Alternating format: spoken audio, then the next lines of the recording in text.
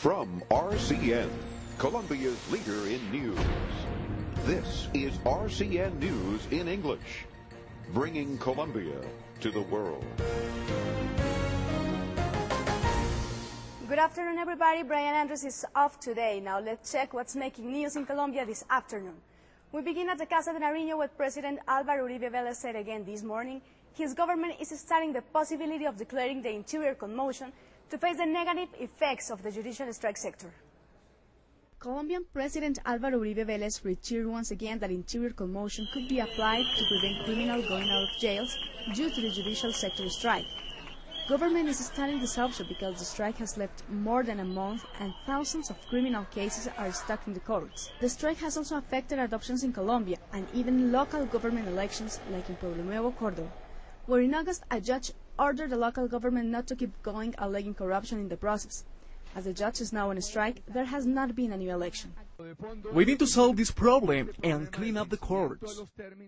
President Uribe highlighted the effort his government is making trying to maintain the economic confidence in the market too.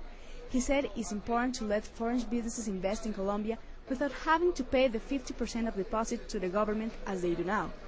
Mr. Uribe finally said this is a good strategy to avoid the negative effect of the global economic crisis. In this moment, we need to guarantee economical solvency and financial resources.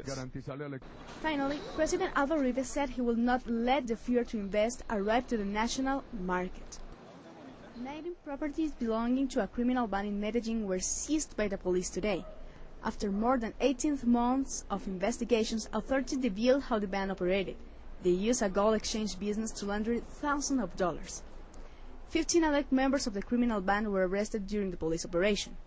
Forty apartments, houses, lots, and even a small plane were taken by the police today. Authorities said these properties cost more than 5,000 millones de pesos. All of them are located in Medellin. Now a story involving a new horrible method the FARC is using to put mines and carry dangerous materials.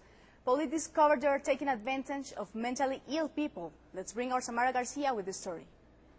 You're right, Ana Maria. These people has no mercy.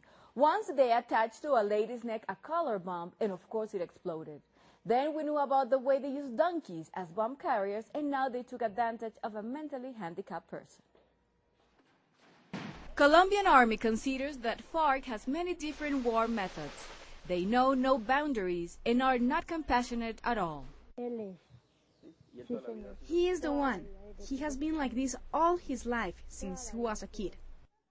Her cousin is the latest FARC victim. He cannot talk, his movements are limited. He gets mad when he gets a bath, but it is easy to control.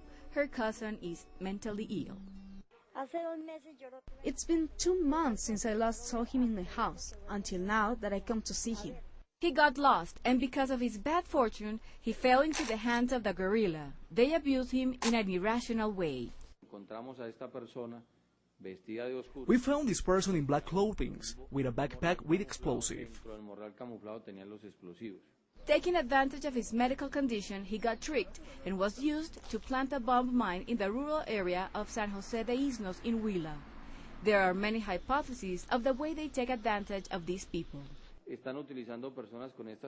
They use this type of person to walk through the army as messengers or to take explosives. A medical exam confirmed his mental age does not correspond to his chronological age and that he is really ill. It was proved that he cannot be charged. Because of his condition, there will be no charges against him. He is already with his family and is the most vivid example of the FARC cruelty. As you can see, Ana Maria, this is why Colombian president calls this organization a terrorist group. This is RCN News. I'm Samara Garcia.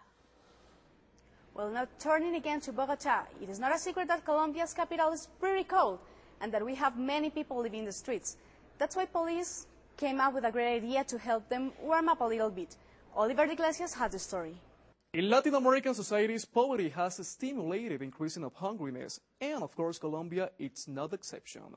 For example, from 100 children under the age of 5, 12 suffered the severe consequences of malnutrition in our country.